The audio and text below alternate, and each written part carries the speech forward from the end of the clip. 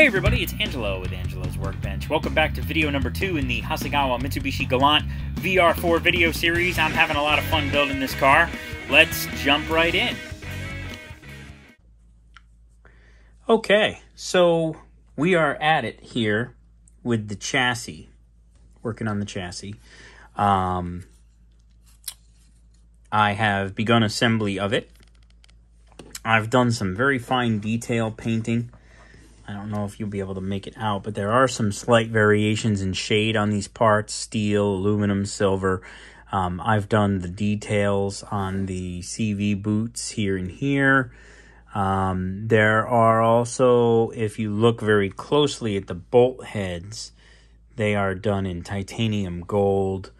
The oil pan on the motor I've done black. Uh, that's actually the same piece, these guys.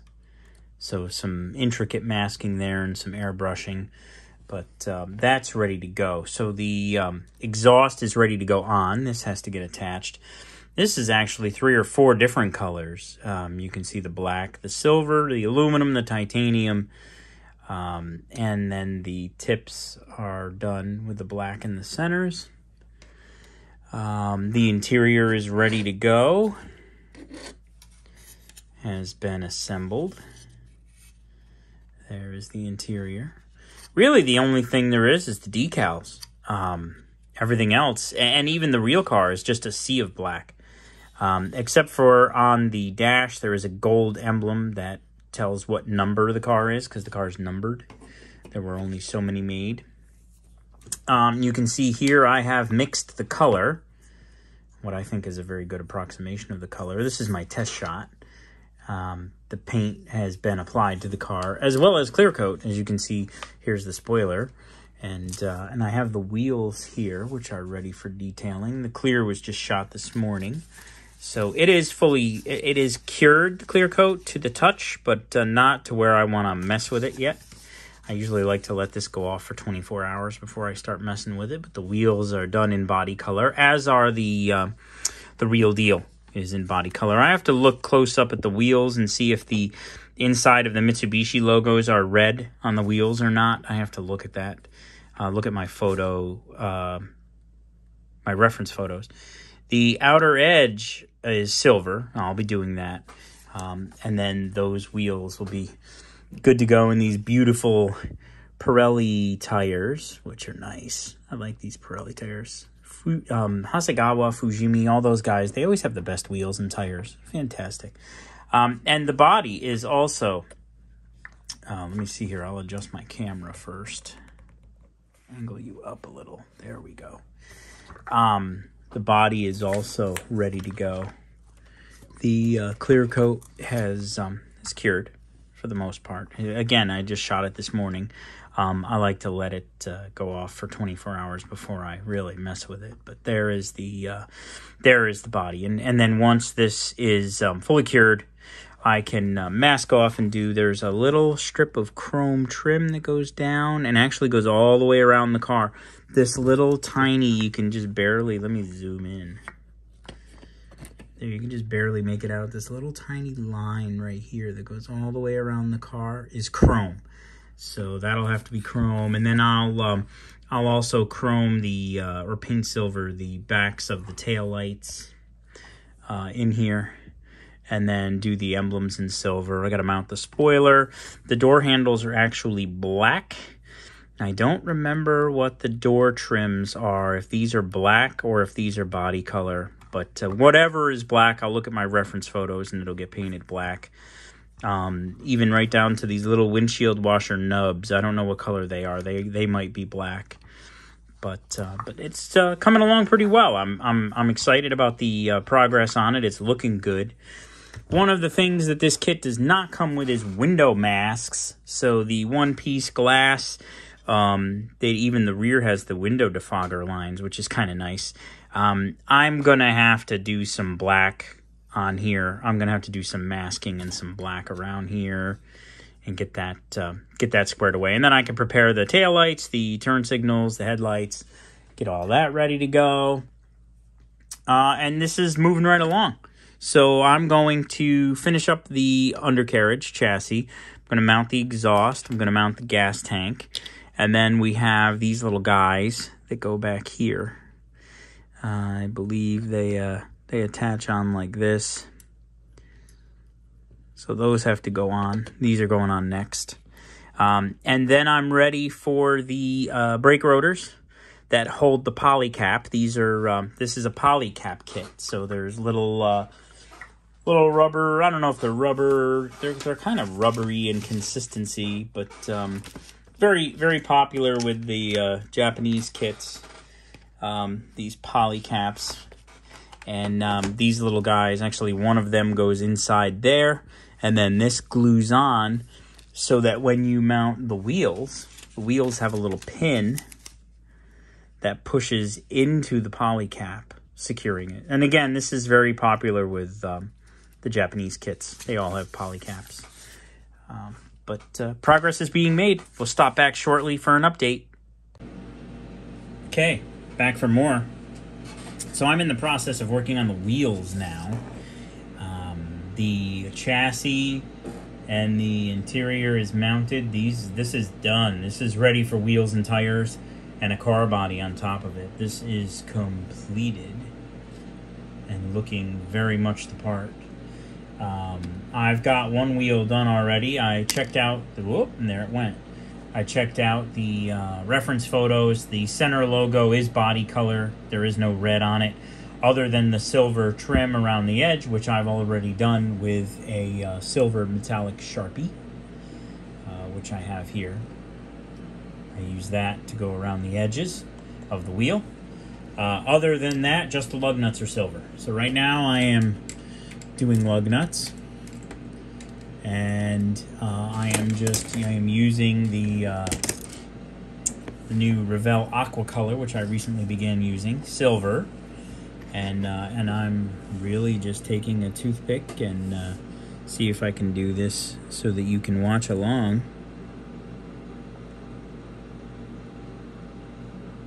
Yeah, and there it is. It took me all of two seconds to make a tiny mistake. But that's not really a big deal because I'm just going to take a Q-tip and I'm going to wet it a little bit and I'm going to rub it on here. And it is all gone. And that is why I do it this way. Um, the paint color is a lacquer. The clear coat, uh, excuse me, the paint color is water-based but the clear coat is a urethane, uh, 2K clear. So it is not water based. So by using a water based paint for detailing, if I make any mistakes, I can just wipe it right off with no damage to the paint. If this was a water based paint, a water based clear coat, and I was using water based paint, then there's no way to clean it. But because the clear coat is not water based, but the silver is, if I make any mistakes, it just disappear, just like I just did. Because it happens. I always get a little nervous on camera too when the camera is watching me.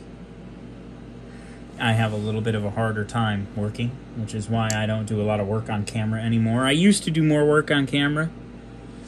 And I don't know, it just kind of kind of weirds me out sometimes. And there you go. So there are the lug nuts done silver. The trim is done silver. The centers are body color. Base coat, clear coat, and looking good. These are ready to have the tires mounted. I do really like these Revell Aqua Color paints. I know I mentioned that in the last video. Um, I continue to be impressed with uh, their usability, both in brushing toothpicking, airbrushing. This is good stuff. And no, they didn't give me this paint. I bought them. And I know I said I was going to go back and uh, buy every color in the rainbow, and I was good to my word. I have a, a whole collection of these now, and they are uh, they are working fabulously with uh, with everything that I'm doing here. So the next step requires the body. So we're going to have to let the clear coat cure for another day, and then I will come in and I will do all of the trims on the body, the trims on the glass, the silver backing for the lights. I don't want to put masking tape on the clear coat yet um, until it has a chance to cure completely. And then we'll be going to final assembly very soon. Stay tuned for more. Okay, update on where we're at. I have the chassis, undercarriage, interior all mounted and glued together. You've seen the interior already. Wheels are looking good and posable. Um, the uh, underside is looking fantastic in my humble opinion. I've got a lot of different uh, shades of metal here. I've gone in and done some detail, as I've mentioned already, with the gold bolt heads. And I've brought in the, uh, the Tamiya black wash and uh, applied a wash to some of these components to highlight some of the texture, uh, the uh, lines in the motor and engine and drivetrain. So she's looking good. The body, I have done the trims, the black trims around the windows, as well as the small chrome trim that goes all the way around the body. I have painted the areas where the taillights are going to go. And uh, so the body's ready. The only thing I have yet to do is I need to do the black door handles and the lock cylinders um, and these little emblems back here. And then that is good to go. I have prepared the lights, the front turn signals, the corner markers where the ambers are, and then the tail lights, which have the uh, white and the amber and the red. So these are ready to go on the car. And then it's going to be done. So we should have a completed slideshow coming up very soon. Well, this will be the last update in the Hasegawa Mitsubishi Galant VR4 video series. The uh, car is done. Uh, this is a custom mix of the color as best I could get it. Um, custom license plates made for the, the vehicle owner. And um, this is a copy of a one-to-one, -one, as I've shown in an earlier video. Um, the steering is posable. The underside looks pretty good with the different metal shades. Uh, love the Fuji, excuse me, the Hasegawa uh, wheels and tires. always very nice what Hasegawa does with wheels and tires. Um, I'm pleased with the, the outcome. It uh, quick build, curbside, low parts count. Um, so there's no motor. Uh, the only thing that um, there is is like um, this piece that has the axle and the drive shaft on it has like a motor block, but underneath the hood is just a big empty hole. They actually did include an intercooler uh, there for the turbos, and you can't really see it through the grills, but it, but it's there. The uh, headlights and taillights look good. Uh, the car looks uh, very much very much like the like the one to one. They did a they did a good job on the kit. So we'll roll right into a slideshow. You can check out the car. Coming up soon, I've got another how-to. I haven't done a how-to video series in a while. Um, I just received a model kit from a model company that I'm going to use for that how-to video series. So that's going to be coming up soon. I'm going to start filming that tonight. Uh, you should see that on the channel coming up shortly. So thanks again for tuning in, and uh, let's go to that slideshow.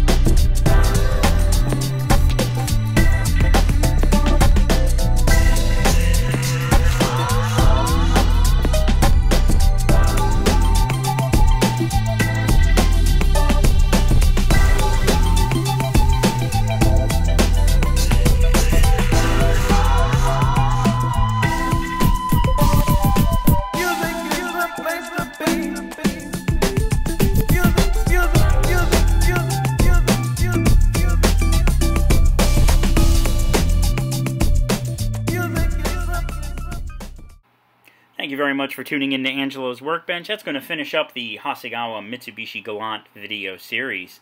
If you have any questions or comments, feel free to set, uh, send me those below.